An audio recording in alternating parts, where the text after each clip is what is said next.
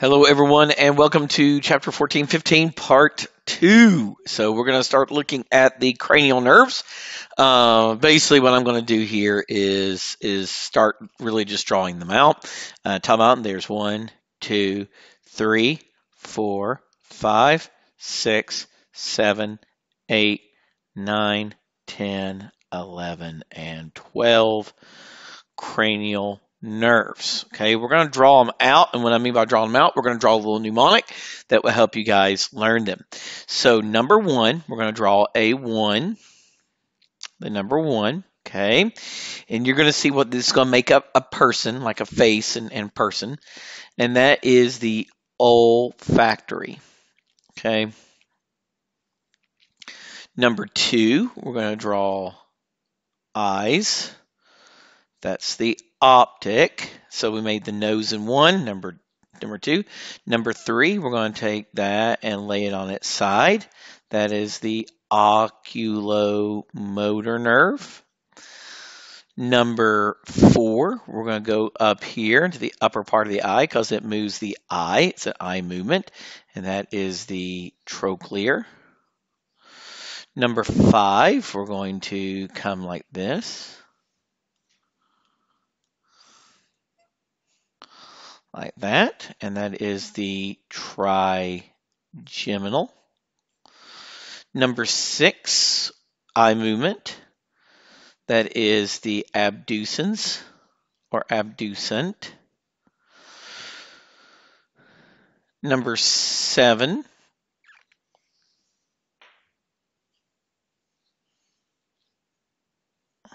sorry, I can make that a little straighter. Okay. Facial. Number eight, let's make some ears. That is vestibulocochlear. Vestibulocochlear. Can't really write that very well with this pen. It's uh, running in a little room there. It, I don't like this little board very much, but this is how I do my online videos for my classes. All right, number nine. Glossopharyngeal.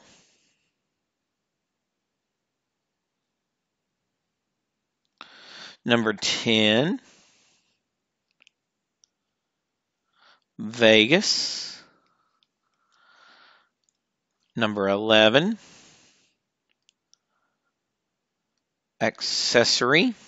And number 12, hypoglossal. To remember them, remember the, nom- uh, the mnemonic. Obviously, once one takes the anatomy final, very good vodka alleviates headaches. Okay. Uh, another one that we use sometimes is OOO to touch and feel. Very gooey viscera. Ah. So, um, you were working with your cadaver. Okay.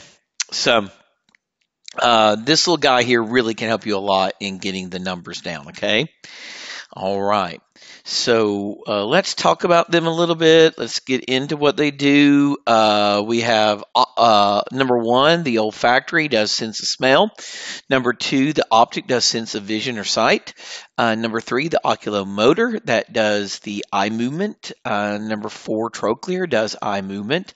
Number five is sensory motor to face. Um, uh, that's trigeminal. Uh, number six, your um, uh, your abducens. It's going to be more eye movement. Uh, number seven, the facial. That's going to be both sensory motor to face, like facial expressions, for example. Number eight, vestibulocochlear. That's hearing and balance. Number nine, glossopharyngeal, sensory motor to your head and neck, dealing like with the throat and tongue. Uh, ten, vagus, the uh, visceral motor, both. Um, uh, thorax and abdomen. Uh, the uh, um, the number 11, the accessory is motor for the neck and upper back, and 12 is hypoglossal for tongue. It's motor. Now, to remember if they're sensory motor or both, uh, here's what I tell my students is some say marry money, but my brother says big brains matter more. Okay. So uh, it's kind of a good way to remember them uh, when you have to go through them. Okay, so here they are in anatomical uh, drawings to help you guys kind of see the cranial nerves where they are. Um, cranial nerves there. Uh, in in lecture, I in lab I also use Harry Potter and the cranial nerves. I use uh, the uh, mnemonic. Um, on, on, on, they traveled and found Voldemort guarding very ancient Horcruxes. Uh, so there's Harry Potter and the and the uh, cranial nerves. Um, so, all right. Some say marry money, but my brother says big brains matter more, sensory, motor, or both sensory and motor. Okay. All right. Now let's talk a little bit about senses. That part's kind of easy. It really is something I spend some time on, but it doesn't take us too long to get those. But this part, it can take us a little bit of time, is understand this idea of transduction. What is transduction? What is a receptor? Receptors are transducers.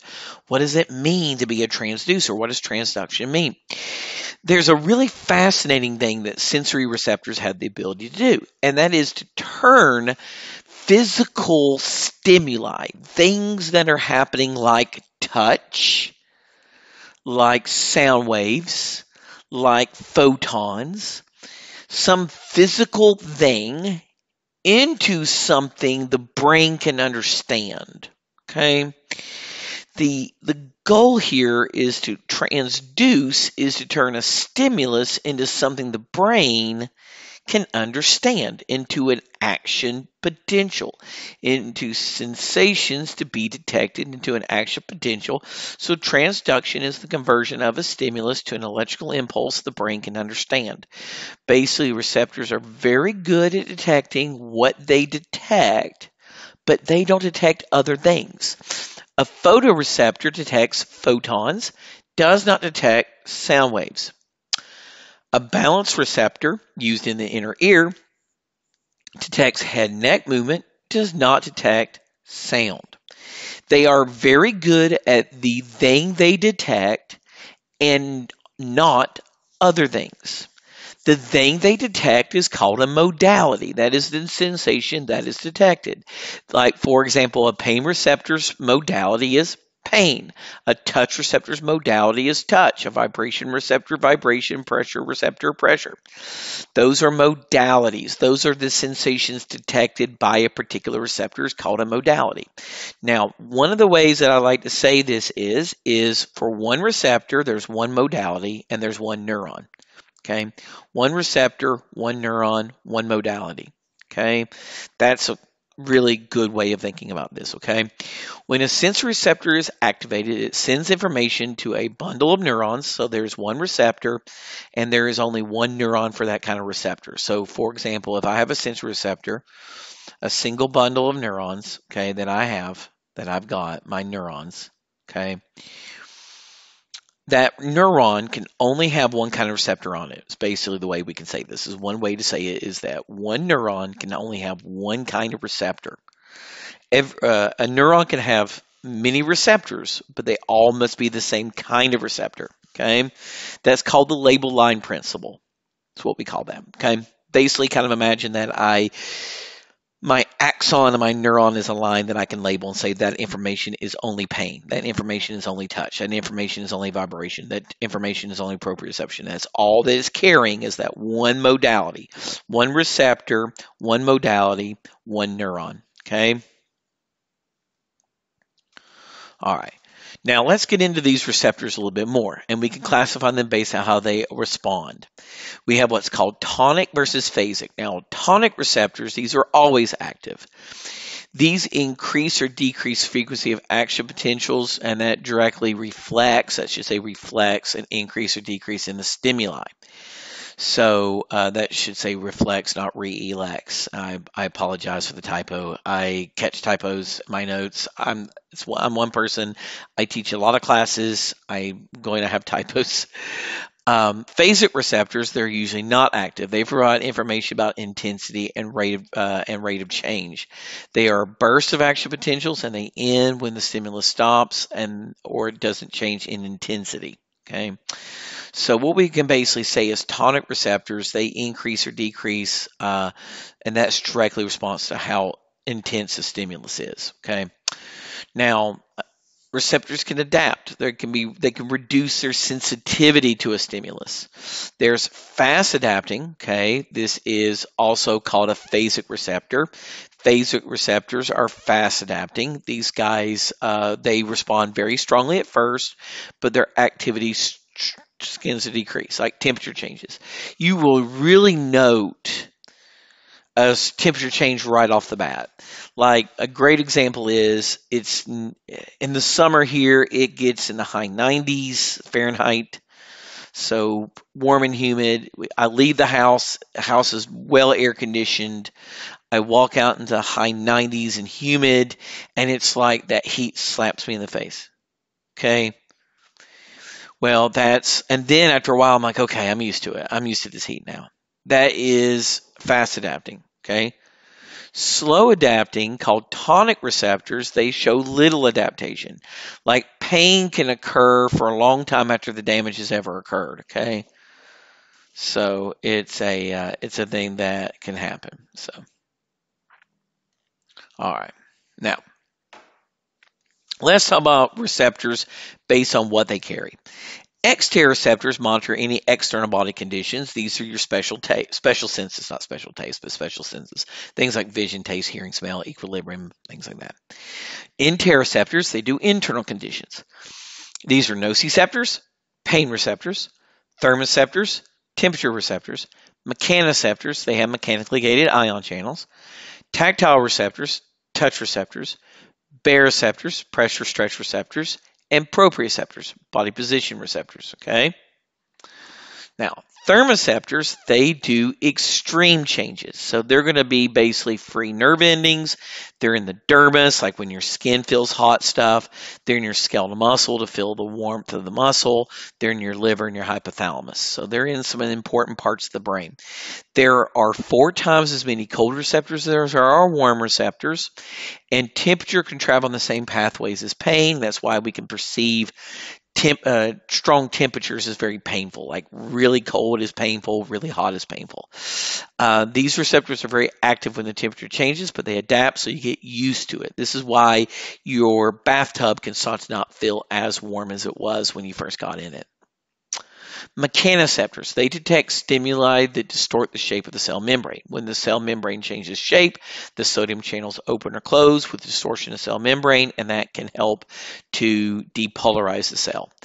Uh, they use glutamate and substance P. Remember, substance P is used in pain receptors.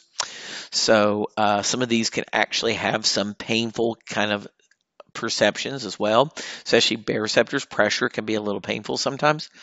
Um, they use substance P or glutamate. One of the things that we're going to see is a baroreceptor that detects uh, pressure changes in the wall of blood vessels, your urinary tract, your digestive tract, things like that, respiratory tract. Um, so proprioceptors, they detect positions of your joints and your muscles. And your tactile receptors, they do touch, pressure, and vibration. Okay. Now, for tactile receptors, these can be free nerve endings. They're between the epidermal cells, very sensitive to touch and pressure. There could be a root hair plexus. They have nerve endings around root hairs. When the, when the root moves, hair moves, uh, it the dendrites move, and they form action potentials. Tactile discs, the Merkel's discs, they are very sensitive to fine touch. They have a very small receptive field. Uh, there's tactile corpuscles, sometimes called Meissner's corpuscles. Uh, these provide sensation about fine touch and pressure. They're very fast acting because they're myelinated. They're in very sensitive areas like your eyelids, your lips, your fingertips, your nipples, and your genitals. Lamellated corpuscles called Pacinian corpuscles, they're very deep pressure. They're sensitive to deep pressure. They're in the dermis of fingers, mammary glands, and genitals. They are in joint capsules, pancreas, and bladder wall as well. Ruffini corpuscles detect pressure and distortion of skin. They're in the dermis. They're fused the collagen in the dermis. When the fibers move, it stimulates them. So when skin stretches. So here you can see all these different receptors. Okay. Baroreceptors are mechanoceptors that do pressure. They're in the walls of hollow organs, blood vessels, lungs, digestive, urinary tracts, for example. Okay. All places you might find them. Proprioception, this is a somatic sensation that body's position. Now, there's no proprioceptors for visceral organs. For example, I can't tell where my spleen, appendix, or pancreas is at this moment. I can't feel where it is. It can hurt, I can have pain, but I can't tell that my spleen is moved or not. It's in your joints, your tendons, and ligaments, and your muscles there are three major groups. There's your muscle spindle organs we talked about and later on, and they do the stretch reflexes. They monitor skeletal muscle length. There are Golgi tendon organs, and they're between the skeletal muscle and its tendon, and they monitor tension during a contraction. And then there's the joint capsule receptors, and they're free nerve endings that detect pressure and tension on the joint as well. Chemoreceptors detect the release of chemicals that are released or chemicals that cells released or chemical composition of the ECF. They respond to chemicals in the surrounding fluid. They're primarily located in the brain to monitor pH of CSF and the aorta along with your carotid arteries. Um, uh, as well to monitor the chemicals leaving the heart, uh, test the blood before it leaves and goes out. These include osmoreceptors, which also are involved in concentration in your body fluids in your blood. Now, what we're going to get into next is a big thing called sensory pathways. Okay, we're going to start talking about sensory pathways. And what I want to do is, guys, is talk about the um, three neurons that are involved in sensation the first order, second order, and third order neuron. First order neuron, that's a sensory neuron. That's the neuron that comes from, this, uh, from the uh, sensory receptor and goes to your CNS. Then there's an interneuron. That's the second order neuron. That's the interneuron that synapses with the first order. The third order, get the second order comes into it, and it is used to make you aware of the information. It goes to the through the uh, it comes from the thalamus uh, out to the right part of the brain okay, or it's delivered to the somatosensory cortex or uh, of the cerebrum. There, uh, if there is a third order neuron, third order neurons sometimes they don't exist. We'll talk about a case where there's only a first order and second order. Somewhere along the way, the second order neuron crosses over, whether it crosses over where it enters or whether it crosses over somewhere up in the brain, it crosses over. There's always going to be sensory information from the right side of the body to the left half of the brain and vice versa. Okay. So what we're going to see, guys, is um, these pathways are tracks in the spinal cord. There's a posterior column pathway, there's spinocerebellar pathways, and spinothalamic pathways. Okay, we're talking about the posterior column pathway first, and we'll talk about the spinothalamic, then the spinocerebellar. Let's start with the posterior column pathway. There's two tracks that make up, two distinct tracks that make it up we'll talk about. The posterior column pathway, what does it carry? Now, here's what I want you to know about each pathway. What they carry, okay, where they cross over, where they end, and are you aware of it? Okay, every one of the pathways, that's what you need to know. What they carry, where they cross over, where they end, and are you aware of it? Okay? Now, let's talk about the first order neuron. That carries fine touch, vibration, pressure, proprioception. Second order neuron, that crosses over at the brainstem. Third order neuron extends the primary sensory cortex, so you are aware of it. Okay. Now, it's two distinctive tracks. One does the lower half of the body, that's fasciculus gracilis. Gracilis is more for the part near the ground, and Cuneatus is the upper part, upper half of the body. It handles the sensory information above, upper half of the body. Okay? Okay. Now, let's talk about the anterior spinothalamic. Now, why is it called spinothalamic? The second order neuron goes from the spinal cord to the thalamus. This is why. First order neuron brings information of crude touch and pressure. Second order neuron crosses over at level of entry. It travels up to the thalamus, where the third order neuron goes to the primary somatosensory cortex, so you are aware of it. Okay, you're consciously aware of it. The lateral spinothalamic tract, which is part of the spinothalamic pathways, this is carrying pain and temperature. Pain and temperature, it crosses over at level. So we bring it in, pain and temperature. Second order neuron crosses over at level of entry, goes up to the thalamus, spinal thalamic. Then uh, it is, now remember this pain and temperature that we're carrying. Then it goes out to the uh, cerebral cortex right here. Okay. All right. So you are aware of it. Now this one, notice there is a first order, second order neuron, no third order. You are not aware of it consciously. Now, there are two of these distinctive tracks that make up the spinocerebellar pathway. There's an anterior and posterior spinocerebellar tract. The anterior and posterior spinocerebellar tract carries proprioception and tendon stretch. They both do it. Anterior spinocerebellar tract, the anterior one crosses over at level of entry. The other one doesn't cross over. Okay. You have a first order neuron, you have a second order neuron, but no third order. Final destination is the cerebellum, so you are not aware of it. Okay? All right, that's all the ascending pathways. The ascending pathways, remember, are sensory pathways. Now, descending pathways are going to be motor pathways. We're going to talk about that. But before we do it, let's talk about referred pain.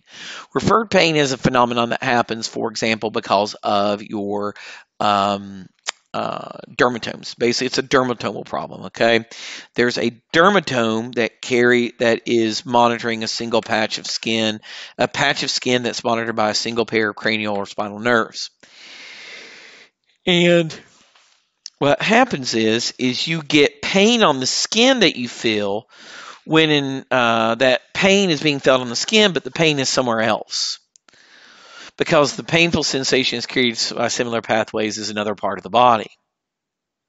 Pain is elsewhere in the body, but it's perceived as it's on like your left arm. So the pain of a heart attack perceives like it's on your left arm. Okay, the skin of your left arm. That's referred pain. Okay. All right. Now, uh, let's talk about motor pathways. Now, motor pathways for somatic motor, there's two neurons. There's an upper motor neuron and a lower motor neuron. Now, patients may have lesions to these neurons, so do pay attention to them. There's a condition that can happen to patients who get stabbed and their spinal cord gets cut only halfway through. They get something called Brown Sequard syndrome. Uh, this can happen to hemiplegia. Uh, so we'll talk about this. The upper motor neuron, the cell body lies in the CNS, the processing center. Okay, it synapses with the lower motor neuron. The lower motor neuron comes down from the CNS. Sorry, I keep yawning. I am exhausted. And it goes out to a motor unit. And what happens is it um, it goes out to form a innervation of the muscles. So that's actually where the muscles innervated, and only lower motor neurons innervate the muscle fibers. So the uh, the upper motor neurons just inhibit or facilitate the lower motor neurons. Okay. All right. Now for motor pathways, there's going to be three major pathways, corticospinal, medial, and lateral. The basal nuclei and the cerebellum both help adjust these pathways. This is why problems with the basal nuclei, problems with the cerebellum can cause movement uh, issues and dexterity problems. Um, this is why I have really bad um, um, really bad kind of coordination is I have problems with my cerebellum. My cerebellum herniated out of my frame foramen magnum. Uh, the output of these functions uh, can actually stimulate or inhibit your motor nuclei and your primary motor cortex. So it can help adjust. Um, uh, uh we can use our motor nuclei and our primary motor cortex to adjust everything. Okay. So those adjust this, okay, our, our thought process. So here we have all those. We have our um, corticospinal pathway here and here. We have our lateral pathway here and our medial pathway here, here, and here. All right, so somatic motor pathway corticospinal is the big one. This is the one that begins in the primary motor cortex. Uh, wherever the neurons that control the body come out, they come down, they come down the tract into the midbrain. Now, uh, here, some leave. These are called cortical bulbar. corticobulbar come out. These are your for your cranial nerves. These are for the cranial nerves is corticobulbar. They do that. The rest of these go down through the spinal cord and they come down into what is called the corticospinal tract where 85% goes corticospinal. So they travel down here, okay? So here's some cranial nerves, things like that, muscles, upper. We go down, we cross over at the pyramidal decussation or decussation of pyramids, and we travel down here out the lateral corticospinal tract, okay? And this comes out. This is where 80%. Anterior corticospinal tract, that's about 15% that remained uncrossed, then crosses and exits, okay? So upper motor neurons uh, are in red, lower motor neurons are in white, okay? All right. That's your motor pathways there. Now let's talk about medial and lateral pathways. Medial pathway does gross movement of trunks and possible limb muscles, the big the big movements. Okay, they help control the lateral pathway as well. There's called the vestibulospinal tract, where cranial nerve number eight responds to auditory imbalance information. Uh, the receptors monitor position ahead, altering muscle tone for the body. Tectospinal does controls movement associated with superior and inferior colliculi, like vision and sound movements, like I see uh, something coming next to me in my peripheral vision, or I hear a loud noise next to me. Reticulospinal does control eye movement and breathing. Lateral spinal pathway controls muscle tone and precise muscle movements. The rubrospinal helps corticospinal tract when you have damage to corticospinal, and there's corticospinal. All right. All right, so we're done, guys. That's it. And I'll see you guys. This is it. We're done. So I'll hopefully see you guys in A&P too. So thank you guys for all your hard work this semester and good luck on your finals.